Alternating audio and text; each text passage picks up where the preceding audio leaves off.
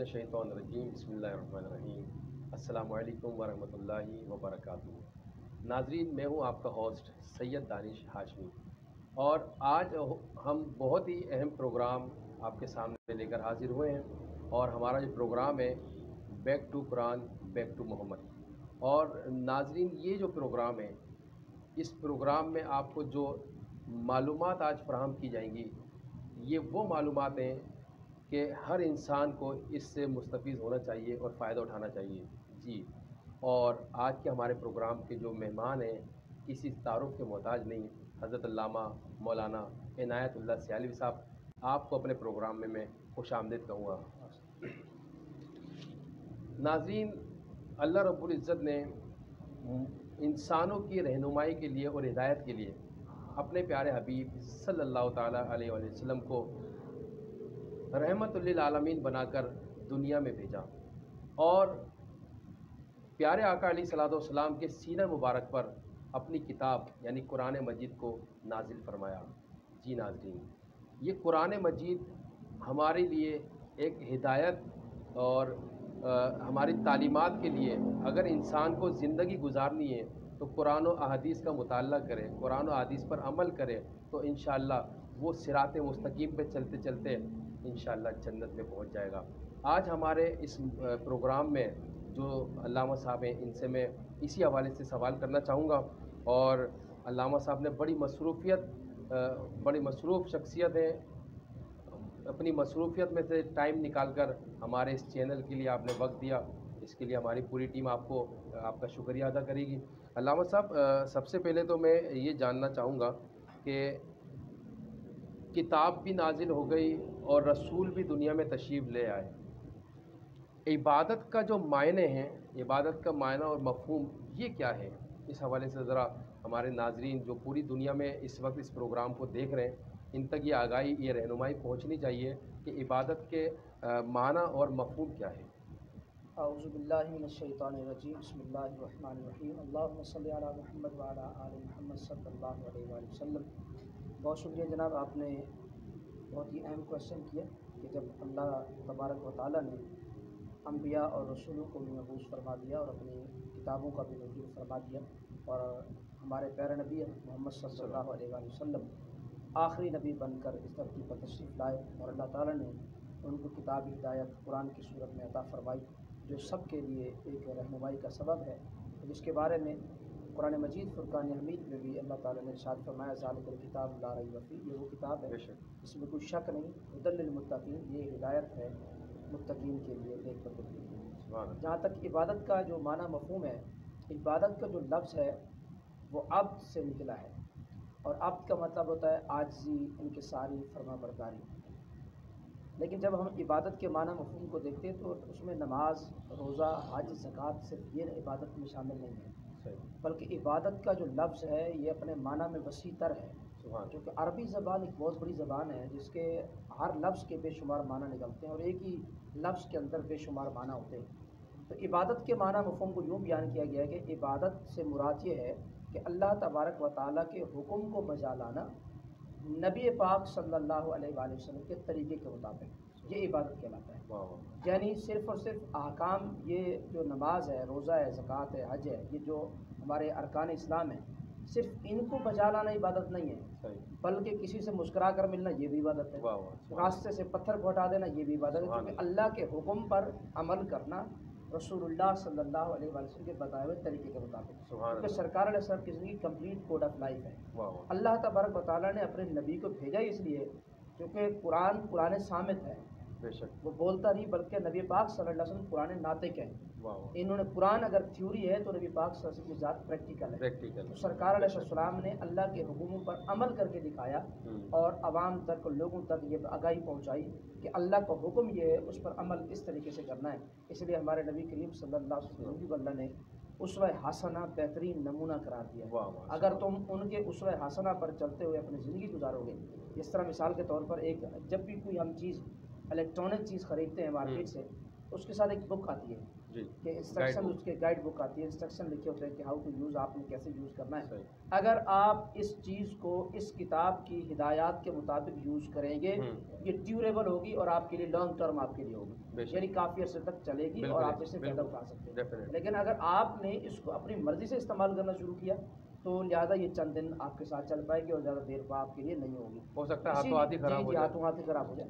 अल्लाह ताला ने इंसान को तखलीक फरमाया और तखलीक फरमाने के बाद अल्लाह ने उसे किताब हिदायत दी कि तुमने शब रोज़ कैसे गुजारना है तुमने दिन कैसे गुजारना है रात कैसे गुजारनी है तुमने कारोबार कैसे करना है लोगों से मेल मिलाप कैसे करना है तुमने सारे मामला कैसे करने हैं। हम्म, ये सारे के सारे अल्लाह ताला ने किताब हिदायत के ज़रिए हम तक पहुँचाए और नबी पाक सल्लल्लाहु अलैहि वसल्लम ने इस थ्योरी के ऊपर प्रैक्टिकल करके दिखा दिया कि अल्लाह का हुक्म ऐसे इस पर अमल ऐसे होगा तो तुम सिरात मुस्तकीम पर गामजन भी रहोगे हम्म। दुनिया में भी कामयाबी तुम्हारा मुकद्दर ठहरेगी और आखिरत में भी तुम कामयाब बेशक। वाह वाह सुभान अल्लाह नाजरीन अल्लामा साहब ने जिस तरीके से फरमाया कि हुजूर अली सलाम को अल्लाह रब्बुल इज़्ज़त ने एक नमूना मिसाल बनाकर दुनिया में भेजा और जिसने इत्तिबा रसूल की और अल्लाह के अहकाम पर अमल किया तो इन वो फला व कामयाबी और कामरानी से हमकिनार होगा।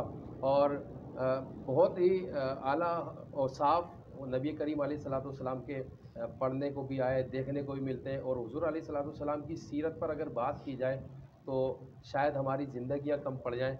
हुजूर सलाम के औसाफ हम बयान नहीं कर कर पाएँगे। अ, किसी शायर ने लिखा है कि ज़िंदगियाँ ख़त्म हुई और कलम टूट गए। लेकिन तेरे औसाफ का एक बाप भी पूरा पूरा ना हुआ। हज़रत ये इरशाद फरमाइए कि मकसद तख्लीक इंसान क्या है? इस हवाले से ज़रा। जी हाँ सबसे पहले जब भी कोई किसी चीज़ पर गौर किया जाता है तो ये किया जाता है कि भाई इसका पर्पस क्या है? इसका इसको क्रिएट करने का इसकी क्रिएशन का इसको बनाने का जो है वो रीज़न क्या है वजह क्या है सबब क्या है लॉजिक क्या है क्यों इसको क्रिएट किया गया कोई भी चीज़ दुनिया की बनाई जाती है तो उसके पहले तो मकासद को समझा जाता है कि भाई ये इस इस मकसद के लिए जो है ना वो कारामद है और इस मकसद के लिए हमने इसको तख्लीक फरमाया तो हज़रत इंसान को जब अल्लाह ताला ने तख्लीक फरमाया तो अल्लाह ताला ने फरिश्तों के सामने फरमाया कि इन जाफ़िल खलीफा। कि फरिश्तों मैं ज़मीन पर एक खलीफा मुकर करने वाला हूँ। खलीफा बनाने वाला हूँ तुम क्या कहते हो? उन्होंने कहा कि ऐसे को खलीफा बनाएगा जो ज़मीन पर खून रेजी करेगा फसाद बर्पा करेगा। तस्वीर तेरी हम बयान करते हैं तकदीस तेरी हम बयान करते हैं। इरादा तो खलीफा ऐसे को बनाएगा। तो अल्लाह ने फरमाया जो मैं जानता हूँ वो तुम नहीं जानते। क्योंकि मैंने हज़रत इंसान को लकद खलकल इंसान अपनी आसन तकवीम। जो इज़्ज़तों का ताज और जो इकराम व तकरीम के साथ मैंने इसको भेजा है। और मैंने जो भेजा है वो इसलिए भेजा है माँ खलक तुम जिन्ना वाले इंसान हम्म। कि मैंने जिन और इंस को अपनी इबादत के लिए पैदा किया है। वही बात जो इबादत के लिए पैदा किया है। यानी इंसान की तख्लीक का मकसद ये है कि वो अल्लाह का हो के रहे। हम्म, इबादत का मतलब ये है कि इंसान की तख्लीक का मकसद यह है कि जनाब वाला जो कुछ भी वो काम करे हम्म, वो उस नीयत के साथ इस सोच के साथ करे कि क्या मेरे इस अमल से अल्लाह के किसी हुक्म की नाफरमानी तो नहीं हो रही? हम्म, तो ये इंसान की बनाने का तख्लीक का मकसद है। अल्लाह ने किसी को भी बेकार पैदा नहीं किया। जो कुछ भी अल्लाह ने तख्लीक फरमाया है उसके बनाने का एक मकसद है। हम्म, अब चरिंद हैं परिंद हैं हैवानात हैं जमादात हैं सब कुछ ज़मीन में जो कुछ भी है आसमानों के अंदर जो कुछ भी है सब्बा माफ़ी सवाबाती वला वो सब अल्लाह की पाकी बयान कर रहे हैं। और अल्लाह ने इंसान को भी अपनी इबादत के लिए तकलीफ़ फरमाया। और इबादत के लिए जब तकलीफ़ फरमाया इसकी मकसद ज़िंदगी का यही है। जैसा कि अल्लाह इकबाल साहब ने कहा लेकिन हम वो मकसद को भूल चुके हैं क्योंकि जब जब हम मकसद को भूलें तो हम जवाल पसीर हुए। हम्म, तो अलामा इकबाल साहब ने कहा था कि मेरी ज़िंदगी का मकसद तेरे दीन की सरफराजी। बेशक। कि अल्लाह ने तुझे मुझे जो ज़िंदगी दी है तो मुझे ज़िंदगी के जो लम्हात तूने दिए हैं मुझे बनाया है। इसलिए बनाया कि मैं तेरे दीन की सरबुलंदी कर सकूँ। मैं तेरी दीन की सरबुलंदी का सबब बन सकूँ। मेरी ज़िंदगी का मकसद तेरे दीन की सरफराजी। हम्म। मैं इसीलिए मुसलमान मैं इसीलिए नमाज़। अल्लाह ने बनाया तो इसलिए था कि हज़रत इंसान जो है वो अपने तख्लीक के मकसद को समझे और जब अपने तख्लीक के मकसद को पूरा कोई चीज़ ना करे तो उसे लोग ज़ाय कर देते। हैं हज़रत इमाम गज़ाली ज़मा हज़रत किबला अहमद शहीद काज़मी ताला अलैह तो आप एक दरख्त के नीचे अपने बच्चों को दरस हदीस पढ़ा रहे थे। तो थोड़ी देर बाद एक लकड़ी टहनी जो है वो टूट कर दरख्त से नीचे गिरी। तो आप रोने लग गए। बच्चों ने पूछा हज़रत साहब क्या वजह है? रोने का सबब क्या है? हम्म, तो आपने फरमाया देखा तुमने ये देखा है कि लकड़ी टहनी जो टूट टूट के गिर पड़ी है और ये क्यों गिरी है? अब इसके साथ क्या होगा? कहा ये अपने मरकज से जुदा हो गई। बिल्कुल मरकज से तो मरकज से जब जुदा हुई इससे दो काम किए जाएँगे। या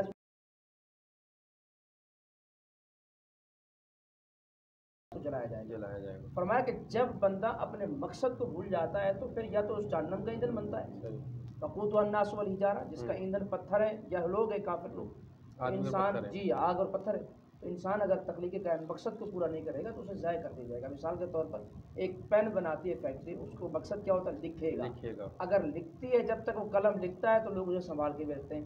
जब जैसे तक ही वो तो मकसद कलम है जब तक वो कलम है और जब वो लिखना जो मकसद है तख्लीक है जो हमा इकबाल का एक शेर पढ़ा तो क्या इस शेर से भी ये मायने निकल सकते हैं कि की मोहम्मद से वफा तूने तो हम तेरे हैं ये जहाँ चीज़ है क्या लोहो कलम तेरे हैं। तो क्या इसमें भी हुजूर अलैहिस्सलाम की इतवा की तरफ़ ये बात इशारा दिया जा रहा है देखें जी हाँ बिल्कुल ये हकीकत है कि दीन पर जब तक अमल नहीं हो सकता जब तक सरकार सुन्नत ना हो यानी अल्लाह के हुक्म पर अमल हो नहीं सकता सुन्नत के बगैर। क्योंकि सुन्नत अगर किसी से पूछे ना कि सुन्नत होती किस लिए सुन्नत का काम क्या है हम्म, तो सुन्नत हर एक बंदा जवाब यही देगा कि सुन्नत फ़र्ज़ को पूरा करने के लिए होती है। अच्छा। मिसाल के तौर पर हमारे यहाँ इसको इस तरह से समझ लीजिए कि वज़ू के चार फ़र्ज़ हैं। तो पहला तो उसमें चेहरा धोना चेहरा दोनों। चेहरे धोने के अंदर किसी भी किताब में ये नहीं लिखा हुआ नज़र आएगा कि आपको तीन दफ़ा चेहरा धोना फ़र्ज़ है हम्म, बल्कि सिर्फ़ चेहरा धोना फ़र्ज़ है। एक दफ़ा आपने धोया अगर कहीं खुश्क रह गया तो दूसरी मरतबा धोएँ सुन्नत है। हम्म, तीसरी मरतबा धोएँ अगर कहीं और खुश्क रह गया है तो तीसरी मरतबा धोएँ सुन्नत है। हम्म, आप सुन्नत पर अमल करेंगे दूसरी मरतबा धोएँगे सुन्नत पर अमल करेंगे तीसरी मरतबा धोएँगे सुन्नत पर अमल करेंगे तो खुश्क जगह को सुन्नत आपके फ़र्ज़ को पूरा कर देगी वाह वाह। और सुन्नत का काम ही ये फ़र्ज़ को पूरा करना। अगर सुन्नत ना हो तो अल्लाह के किसी एक हुक्म पर भी अमल नहीं हो सकता। नहीं हो सकता। तो लिहाजा सुन्नत की अपनी जगह पर ज़रूरत है। बात वही है कि मोहम्मद से वफातू ने कम तेरे। क्योंकि सरकार अलैहिस्सलाम की इतात और इतबा के बगैर अल्लाह की इतात नहीं हो सकती। नहीं हो सकती। अल्लाह की इतात अल्लाह ने फरमाया ना कुरान पाक में अगर तुम चाहते हो कि इन कुन तुम तो हिब्बुन अल्लाह फत्ता भी होनी अगर तुम चाहते हो कि अल्लाह तबारक व ताली तुमसे मोहब्बत करे तो क्या करो? तुम सरकार की इत्तेबा करो। वाह वाह सुभान अल्लाह तबारक व ताली क्या करेगा? तुमसे मोहब्बत शुरू कर देगा। ये भी इबादत का ही हिस्सा है। जी जी बिल्कुल इबादत का हिस्सा है और इसके बगैर तो कोई इबादत कबूल नहीं होती। वाह क्योंकि सरकार अलैहिस्सलाम की मोहब्बत दीन हक की शर्त अव्वल है। वाह वाह। अगर हो इसमें कुछ खामी तो सब कुछ नाम बिल्कुल है। बहुत ज़बरदस्त गुफ्तु नाजरीन जारी है और सारी है। हज़रत अल्लामा इनायतुल्लाह सियालवी साहब बहुत खूबसूरत अंदाज में तमाम सवालों के जवाब इनायत फरमा रहे हैं। और नाजरीन, हुजूर सलाम की जो तालीमात हैं, तालीमत के साथ साथ सिर्फ़ तालीमात पर अमल नहीं करना, हुजूर की मोहब्बत भी दिल में होना ज़रूरी है। मोहब्बत होगी तो इन अमल करने का जो है एक अलग ही जो है ना लुत्फ़ आपको मिलेगा कि हम जब अमल करते हैं किसी से मोहब्बत करके तो उसके अदा करने में एक अलग ही चाशनी होती है। और इश्क रसूल की तो बात ही क्या है कि इश्क रसूल जब नसीब हो जाए तो ये भी बड़े नसीब की बात है कि इश्क रसूल मौलाना जामी रहमत ताला को इश्क रसूल नसीब हुआ।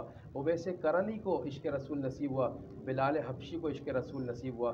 तमाम साहबा को खुलफा राशिदीन को और अशरा मुबशरा में जो साहबा थे, इनको इश्क रसूल नसीब हुआ तो अल्लाह रब्बुल इज़्ज़त के महबूब ने उनको दुनिया में ही जन्नत की बशारत दे दी। वाह सुबहान अल्लाह हज़रत एक और सवाल मैं करना चाहूँगा कि इंसान को जब अल्लाह ने अशरफुल मखलूक़ात बना ही दिया तो मुसलमानों को देखा जाता है अक्सरियत के बावजूद आज पूरे आलम इस्लाम के अंदर एक कुफ्र का जो अ, अ, कुफ्र जो गालिब है मुसलमानों के ऊपर हर जगह मुसलमान पिस रहा है। इसकी क्या वजह है कि ये मुसलमान जो जवाल पजीर क्यों है? इसकी क्या वजूहत है? उसकी वजह आज का जो टाइटल है हमारे इस प्रोग्राम का back to Quran back to Muhammad सबसे बड़ी वजह यही है कि दरस कुरान अगर हमने भुलाया ना होता हम्म, ये ज़माना हमें ज़माने ने दिखाया। दिखाया ना होता बिल्कुल। वजह यह है कि हम किताब हिदायत से दूर हो गए। दूर हो गए। और नबी पाक सल्लल्लाहु अलैहि वसल्लम की सीरत से हम बहुत दूर चले गए।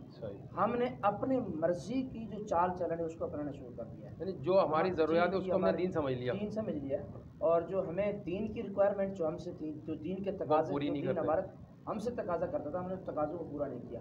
इसलिए एक शायर ने यहाँ बड़ी खूबसूरत बात की है। फरमाते हैं कि वो मुआज़ से ज़माने में मुसलमान होकर और हम जलील खार हुए तारे के कुरान होकर क्योंकि वो पिछले दौर में जो मुसलमान थोड़े से होते थे हम्म। तीन सौ तेरह होकर हज़ार पर गालिब हुए। बिल्कुल बिल्कुल ऐसा ही। अब कसीर तादाद में काफिर मौजूद है लेकिन मुसलमान जज्बा ईमानी के साथ गालिब है। बिल्कुल। उसकी वजह यह है कि उनका ईमान बड़ा पावरफुल था। ईमान क्यों पावरफुल था? कि कुरान के साथ मोहब्बत और इस लिखा है उलमा के उलमा कराम ने किताबों के अंदर कि मुजाहिदीन के बारे में कि क्यों क्या वजह है कि रिसर्च की गई कि भाई ये कैसे इतनी कम तादाद में कमज़ोर होने के बावजूद भी आलात हर्ब भी कम होने के बावजूद भी हम पर गालिब कैसे आते हैं? तो ये रिसर्च जब बयान की गई तो कहा बताया गया कि जनाब वाला ये दिन भर रोज़ा रखते हैं रात को क़यामुल्लाइल होते हैं कायमुल्लाइल होते हैं यानी रात को रात को खड़े होकर अल्लाह की बारगाह में सर इबादत होते हैं। इबादत गुजार होते हैं रात को जिनकी पुष्ट जनाब वाला बिस्तरों पर नहीं लगती बल्कि अल्लाह की इबादत में खड़े होकर गिड़ गिड़ाकर कामयाबी की दुआ मांगते हैं। हम्म। दिन भर ये रोज़ा रखते हैं। इस वजह से इनकी कामयाबी की ज़मानत है। तो इसलिए जो लोग कुरान के साथ वाबस्ता रहे और कुरान के साथ जो टच में रहे तो अल्लाह ताला ने उन्हें उरूज अदा किया। नबी पाक सल्लल्लाहु अलैहि वसल्लम की ज़ात के साथ जो वाबस्ता रहे और सरकार अलैहिस्सलाम से अपना मोहब्बतों का रिश्ता कायम रखा जिन लोगों ने। वो जहाँ कहीं भी एक भी हो तो उन्होंने जनाब वाला देखो ना ख्वाजा गरीब नवाज़। उनका ताल्लुक सरकार अलैहिस्सलाम से कुरान मजीद फुरकान यामी से इतना मज़बूत था हम्म। कि तने तनहा बंदे ने नब्बे लाख को कलमा पढ़ाकर दर इस्लाम में दाखिल कर दिया। अब हजूर दादा गंज बख्श से लहजवेरी रहमतुल्लाह को देखे। तने तनहा बंदे हैं। हम्म, रावी किनारे आकर बैठते हैं हिंदुओं का पूरा इलाका है। हम्म, लेकिन आप अपने सीरत और किरदार के साथ लोगों को कलमा इस्लाम पढ़ाते हैं हम्म। दर इस्लाम में दाखिल करते हैं। ख्वाजा हसन रहमतुल्लाह ताला की ज़ात ग्राम में हिंदुओं का पूरा इलाका है। लेकिन आप अपने सीरत और किरदार के साथ अपने अमल के साथ लोगों को इस कदर मुतासर करते हैं कि जिस तरफ़ आप निगाह को उठा उठाकर देखते हैं लोग कलमा पढ़कर दायरे इस्लाम में दाखिल हो जाते हैं। आप इसी तरीके से और औलिया कर औलिया कराम को देखें सुल्तान बाबू रमत की ज़ात सुभान आप जितने भी अलिया कामिलीन हैं तो आप उनको पढ़ कर देखेंगे तो ये आपको वाबस्तगी नज़र आएगी कि कुरान के साथ था अल्लाह। वो कुरान के साथ उन्होंने अपना ताल्लुक मज़बूत रखा सरकार रसूल के फरमान के साथ उन्होंने ताल्लुक मज़बूत रखा। इसीलिए अलामा इकबाल साहब ने कहा था लिखना नहीं आता तो मेरी जान पढ़ा कर हो जाएगी तेरी मुश्किल आसान पढ़ा कर हाँ। अगर तुझे पढ़ने को कुछ ना मिले तो चेहरों पर लिखे दर्द के उन्वान पढ़ा कर पढ़ा। लारैब तेरी रूह को तस्कीन मिलेगी। तो कुर्ब के लम्हात में कुरान पढ़ा कर और आ जाएगा इकबाल तुझे जीने का करीना। तो बस सरवर है कौनैन के फरमान पढ़ा सुभान अल्लाह सुभान।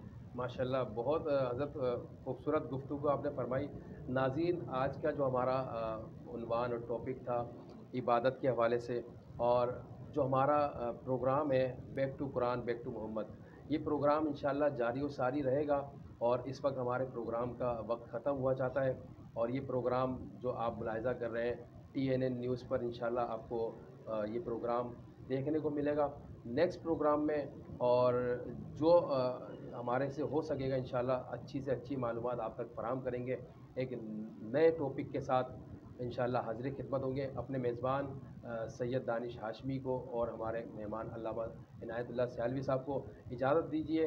अल्लाह नगबान अल्लाम वरहमल वरहमतुल्लाहि व बरकातुहू